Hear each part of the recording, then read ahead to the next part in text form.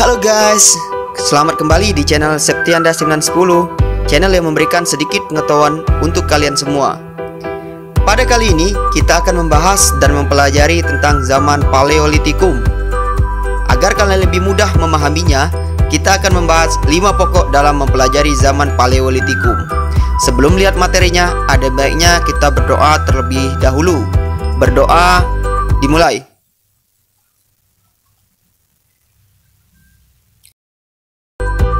langsung saja kita lanjut. Pengertian zaman Paleolitikum. Zaman Paleolitikum atau disebut juga dengan zaman orang tua. Eits, salah. Maksudnya zaman batu tua. Kenapa disebut sebagai zaman batu tua? Jawabannya, karena pada masa itu manusia purba menggunakan batu yang masih alami dengan kata lain, masih kasar, belum diasah atau dipoles. Berarti zaman ini belum mengenal adanya batu asah. Kita lanjut. Zaman Paleolitikum diperkirakan terjadi pada masa Pleistosen atau zaman es. Berarti zaman ini masuk ke dalam zaman Quarter dan berlangsung kira-kira 600.000 sampai 100.000 tahun yang lalu. Jika dilihat dari alat-alat pendukung kehidupan mereka, diperkirakan pada masa itu manusia memenuhi kebutuhan hidup dengan cara berburu secara berkelompok dan meracik makanan dengan sederhana. Periode zaman Paleolitikum Periode zaman Paleolitikum terbagi menjadi tiga. Yang pertama, zaman Paleolitikum tua. Periode ini merupakan periode pertama kali manusia berkembang ke arah yang lebih berbudaya.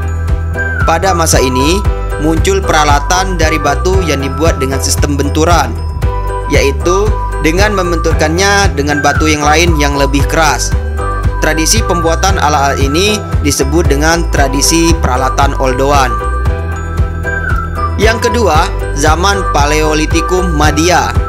Pada periode ini, manusia purba diperkirakan telah memiliki kepercayaan. Hal ini dibuktikan dengan ditemukannya artefak-artefak. Kesimpulannya, pada periode ini mereka memiliki kepercayaan, yaitu animisme dan dinamisme.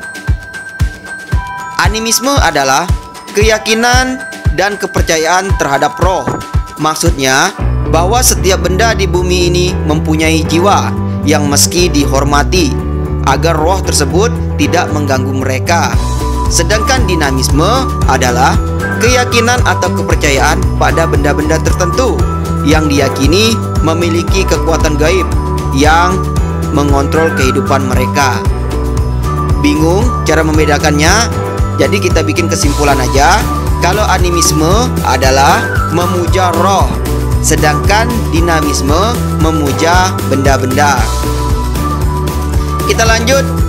Periode yang ketiga adalah zaman Paleolitikum Muda. Pada periode ini, manusia purba sedikit lebih berkembang karena mereka mulai menemukan peralatan-peralatan berburu seperti panah, tombak, dan pisau yang menyempurnakan teknik berburu mereka. Pada masa ini, banyak sekali kebudayaan yang muncul karena penyebaran manusia yang luas hingga ke pelosok bumi. Manusia pendukung zaman Paleolitikum Jenis manusia purba yang hidup pada zaman ini adalah Pithecanthropus erectus, Meganthropus paleojavanicus, Homo wajakensis, dan Homo soliensis. Bukti penemuannya adalah fosil-fosil yang ditemukan di aliran sungai Bengawan Solo. Untuk mengenai ciri-ciri manusia purba akan dijelaskan di video selanjutnya. Kebudayaan dan peralatan. Kebudayaan adalah suatu keseluruhan dari hasil karya dari manusia. Berdasarkan hasil karyanya, kebudayaan Paleolitikum dikelompokkan menjadi dua, yaitu kebudayaan Pacitan dan kebudayaan Ngandong. Kenapa bisa disebut dengan kebudayaan Pacitan dan kebudayaan Ngandong?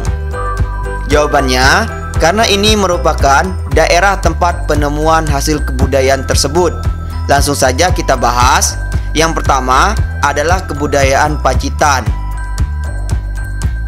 Kebudayaan Pacitan adalah kebudayaan yang berkembang di daerah Pacitan, Jawa Timur yang ditemukan oleh Coinswall. Tradisi ini dikenal dengan stone culture atau peralatan yang terbuat dari batu.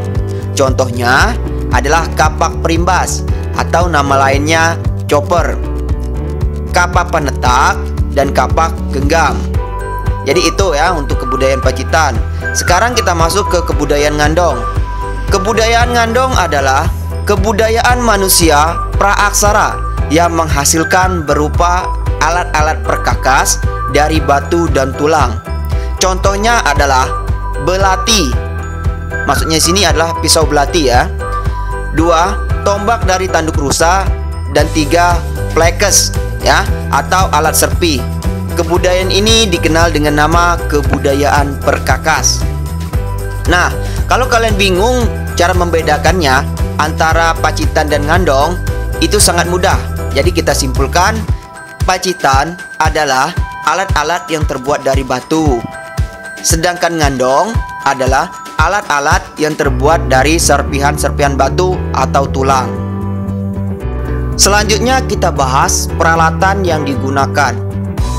Peralatan yang digunakan pada zaman Paleolitikum 1. Kapak genggam Kapak genggam banyak ditemukan di daerah Pacitan Alat ini dinamakan kapak genggam karena alat tersebut serupa dengan kapak Tetapi tidak bertangkai dan cara menggunakannya dengan cara menggenggam Cara pembuatan kapak ini dilakukan dengan cara memangkas salah satu sisi batu sampai menajam dan sisi lainnya dibiarkan apa adanya sebagai tempat untuk menggenggam.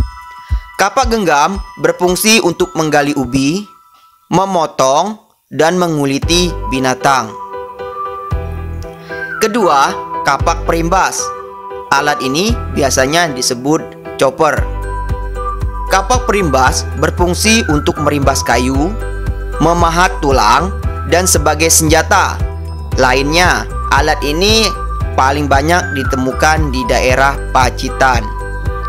Lalu selanjutnya yang ketiga adalah alat-alat dari tulang binatang dan tanduk rusa. Salah satu alat peninggalan zaman Paleolitikum adalah alat yang terbuat dari tulang binatang. Kebanyakan alat dari tulang ini berupa alat penusuk atau belati. Pisau belati tadi ya maksudnya. Fungsi dari alat ini adalah untuk mengorek ubi dan keladi dari dalam tanah. Selain itu, alat ini juga digunakan sebagai alat untuk menangkap ikan. Alat-alat tulang ini termasuk hasil kebudayaan Ngandong. Selanjutnya yang keempat adalah flag atau flakes. Flakes yaitu alat-alat kecil yang terbuat dari batu. Maksudnya adalah serpihan batu ya yang dapat digunakan untuk mengupas makanan. Flakes ini termasuk hasil kebudayaan Ngandong juga, sama seperti alat-alat dari tulang binatang tadi. Kebudayaan alat-alat ini pada umumnya adalah untuk berburu, menangkap ikan, mengumpulkan ubi, dan buah-buahan. Ciri-ciri kehidupan manusia pada zaman Paleolitikum. Ciri-ciri pada zaman ini sangat mudah kita ingat karena mereka zaman tua. Ya, jelas hidupnya masih sangat bergantung dengan alam. Ciri-cirinya bisa dilihat. Yang pertama adalah hidup berpindah-pindah atau nomaden. Kenapa mereka bisa hidup berpindah-pindah?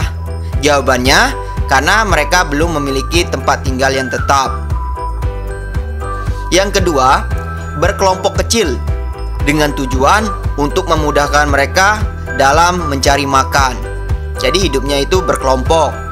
Yang ketiga, masih bergantung dengan alam sekitar.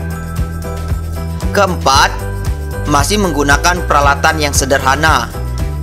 Dan yang kelima, yaitu masih berburu atau nama lainnya adalah food gathering.